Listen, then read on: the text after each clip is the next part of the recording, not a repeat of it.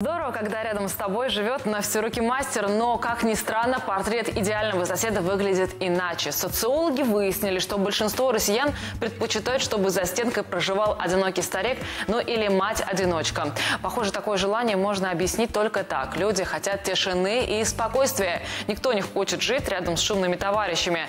Но соседи не выбирают, что делать, если вам не повезло.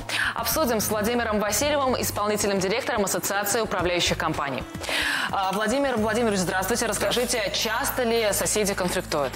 Ну, э, знаете, я бы, наверное, термин соседи уже выкинул вообще из оборота, да, потому что для меня соседи это люди, которые раньше жили такой большой коммуной, б- там, многоквартирном доме, да, ну, в советское еще время, когда мы друг друга знали.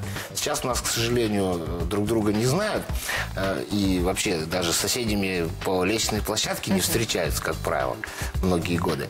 Но э, вообще основная, конечно, э, часть конфликтов там происходит все-таки из-за нарушения тишины. У нас, к сожалению, многоквартирные дома, они звукопроницаемые очень, то есть любой шорох в соседней квартире, особенно в ночное время, это слышно и видно и так далее. Ну, это действительно доставляет очень большой дискомфорт, но что в таком случае делать? Расскажите какую-то А, ну, инструкцию. э, обычная ошибка у нас э, жителей какая, да? Если, например, сосед постоянно шумит э, в неположенное время и прочее, они бегут сразу у нас к управляющей компании, либо там ТСЖ своей, начинают жаловаться тем, у кого нет полномочий как-то воздействовать на этого соседа. Потому что ну, это все-таки э, полномочия, так скажем, э, регионального уровня, да, и федералами оно... То есть бежать не к вам, если вдруг шумят нет, соседи? Да, это абсолютная ошибка, потому что, ну, во-первых, давайте разберем ситуацию. Да, вот сосед шумит.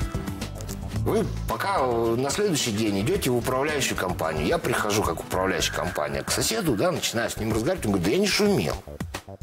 Как это подтвердить и доказать, что ты шумел? Что вы делаете? Вам нужно зафиксировать это нарушение, потому что потом-то оно пропадет, даже если вы органы внутренних дел вызовете, да, как положено у нас по закону. То есть вы в этом случае нужно либо записать, что этот шум, да, потому что ну, у каждого сейчас гаджет, который пишет, и будет слышно, громкий это шум или нет, да, и вообще, что это за шум.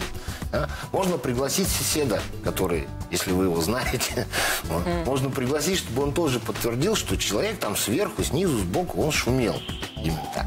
И вот потом уже вызывать, ну или там одномоментно с этим, да, с фиксацией, вызывать нужно на все-таки органы внутренних дел. Потому что правом на э, составления протокола у нас обладают только сейчас в настоящее время органы полиции. А вообще, вы знаете, чем грозит людям а, о нарушении закона о тишине? А, ну, у нас в Тюменской области, наконец-то, в общем-то, ну, так же, как и по всей России, провели все-таки градацию шумов, да. Значит, у нас для граждан, у нас э, максимальная планка – это 5000 рублей. Но это 5000 рублей – это за строительные работы. Шум, например, издаваемым магнитофоном, телевизором, э, там, бытовыми приборами какими-то. У нас э, на первый раз у нас следует предупреждение. Ну, там идет, вернее, как, предупреждение или штраф от 1 до 2 тысяч рублей. А если, к примеру, я сама создаю шум, и, к примеру, я не хочу никаких конфликтов, что мне в таком случае делать?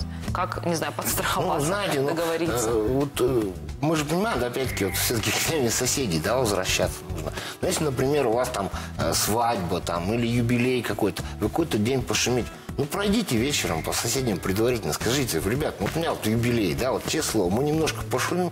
Я думаю, сто процентов эти соседи все-таки к вам мало того, что они и в ваше положение войдут, ну, и впоследствии они будут вас все-таки хорошим соседом считать. Вы говорили, что термин «соседи уходят», а какой сейчас есть? Да, сейчас пока только собственники жилых помещений. Серьезно? А Да. вы, вы скучаете по вот этому, по, по соседям? Ну, очень, потому что вот э, я жил, когда был еще, так скажем, советское время, да, когда не было собственников. Вот. Мы, у нас, мы друг друга весь двор знал, понимаете?